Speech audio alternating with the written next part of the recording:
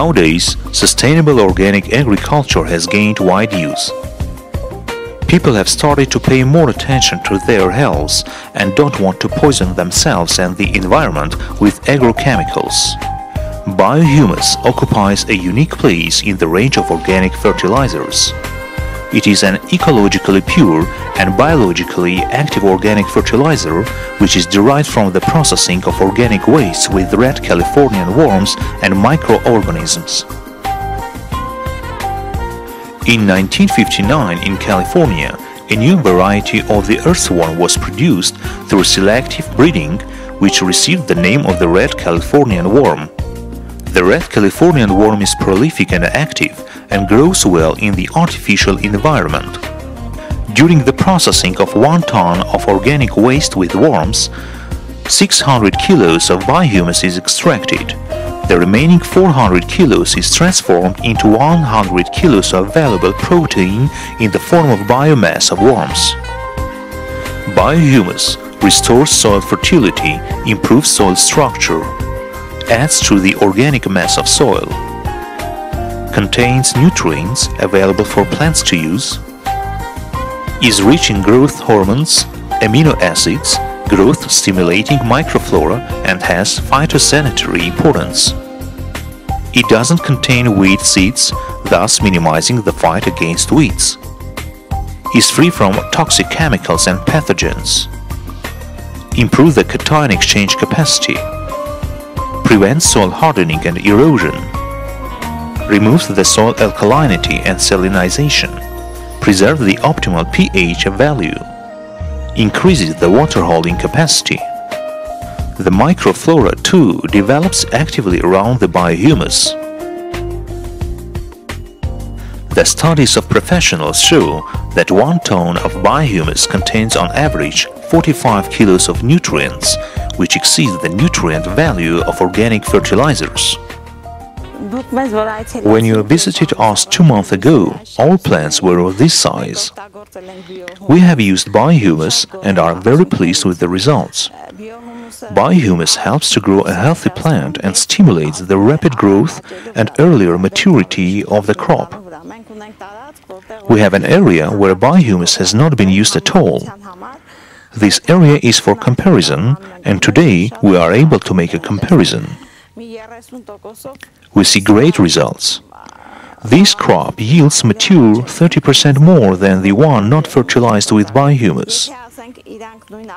Even if they yield the same results, it is preferable to use biohumus versus inorganic fertilizer because what we grow is for mankind and inorganic fertilizers are chemical substances which are harmful to human health. Biohumus is very useful to people.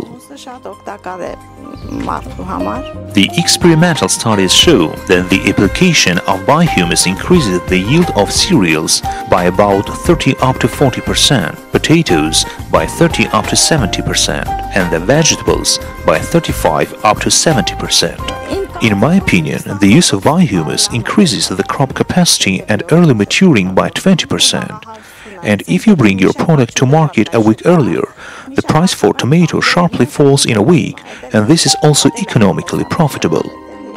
With the view of expanding the volume of production and use of biohumus, Armenian Women for Health and Healthy Environment, a non-governmental organization, has been engaged for over seven years in the dissemination of biohumus production and consumption practices in rural communities within the framework of the project entitled Say No to Chemicals in Our Environment, funded by Global Ecological Fund Small Grants Program, the organization conducted a practical training program for farmers and provided them with worms to start their own small production. Within the framework of the project, small production bases of biohumus were established in 31 farms of 8 communities. With the view of conducting experiments, the farmers were also provided with biohumus. On a piece of land, 1 up to 2 meters wide, with the length depending on quantity of manure, 5 up to 6 thick straw should be spread, which then should be covered with 30 up to 60 centimeters thick 5 up to 6 month old manure. It is preferable to cover the floor area with concrete or remove the loose layer of soil Then to put worms on the ready mass and cover the pile with straw or dried leaves. For rapid processing of 1 ton of manure, 6,000 up to 15,000 adult worms are required.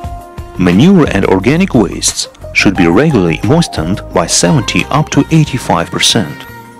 The worms start their activities at the bottom and then crawl up. The worms can be separated from biohumus if 30 up to 40 centimeter thick fresh mixture is spread along the pile towards which the worms will migrate in 3 up to 5 days. Normal living conditions for red worms are provided at 19 degrees Celsius, which is close to their body temperature. The red worm is afraid of the light and the ultraviolet rays are lethal for them. Therefore, the light should not directly affect the habitat. The biohumus, obtained both in boxes and piles, should be sifted with a sieve which has 4 mm holes and it should be used as organic fertilizer.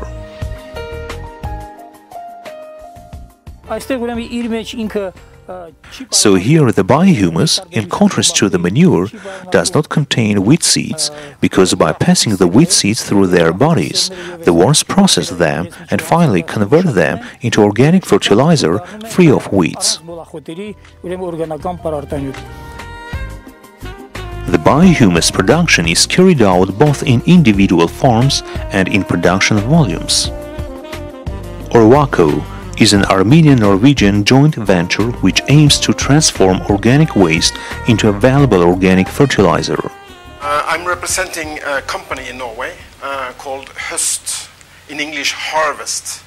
Harvest values in waste. So throughout these 30 years I've always been occupied in exploiting the values in waste, both energy and nutrients. Vermicomposting is earthworms, lots of them, eating uh, the, the, the substrate, the waste. So then we applied for a project in Norway to get grants to learn about biohumus and to try to industrialize the process, converting the waste from the mushroom industry, mix it with the sludge from the biogas plant, and then produce fertilizer. To fertilize one hectare of land, 3.5 up to 6 tons of biohumus is needed. To overdose the soil with biohumus is impossible. The more, the better. Biohumus is much better than nitrogen fertilizer because it is not washed out by rainwater and stays in the soil.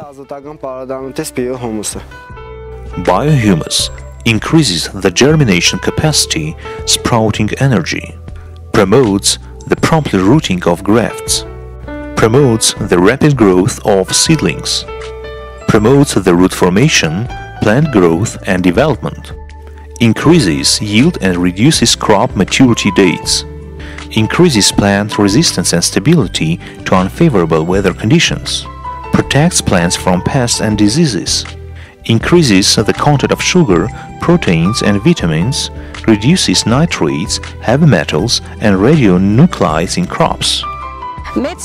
With great pleasure, I would like to show you our fruits and vegetables. We have fertilized them with biohumus and got a double, triple and even four times as much yield, not to mention the taste quality. It is true that to grow this, neither biohumus nor nitrogen fertilizer has been used. We are doing organic farming and avoid using pesticides as much as possible. This is also fertilized with biohumus. We can cut it to show you that though it is big, it is very healthy and not affected by insects or diseases. The beans have been fertilized with biohumus too. Though these are different varieties, this variety turns out to be smaller than this one fertilized with biohumus. Spread the biohumus onto the soil surface, preferably close to the plant, mix with soil, loosen it and then water it. Biohumus can be used during the seed processing before sowing, growing seedlings, earthing up, and periodical leaf feeding. Better results for growing seedlings are obtained when you mix 3 parts of soil with 1 part of biohumus. When planting a seedling, put 1 or 2 handfuls of biohumus around the seedling stem. The potato is very sensitive to biohumus. It is preferable to introduce up to 100 grams of biohumus under each tuber. After transplanting cucumbers, tomatoes and cabbages, it is preferable to mulch with 1 up to 2 cm layer of biohumus. During the irrigation, the biohumus will get to the roots. Strawberry will blossom and get mature 7 up to days earlier if the beds are mulched with 1 up to 2 centimeters of biohumus. Each year, the introduction of a 2 up to 3 centimeter thick layer of biohumus in the soil around the trunks of the trees may contribute to the increasing fruitfulness and the fruits will be bigger and more beautiful and delicious. Last year, we obtained 9 up to 12 tons of yield, and this year, by using biohumus, we have obtained 70 up to 90 tons of crop. Thus, the yield of our garden has increased by 7 up to 8 times. We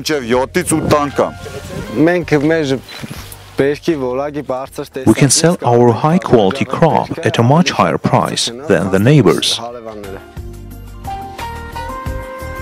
Under the seedlings, you can introduce 4 up to 5 kilos of biohumus. Under fruit trees, 3.5 up to 7 kilos, and under greens, 1.5 up to 2 kilos of biohumus per 1 square meter surface. Biohumus is the best food for soil fertility and plant health.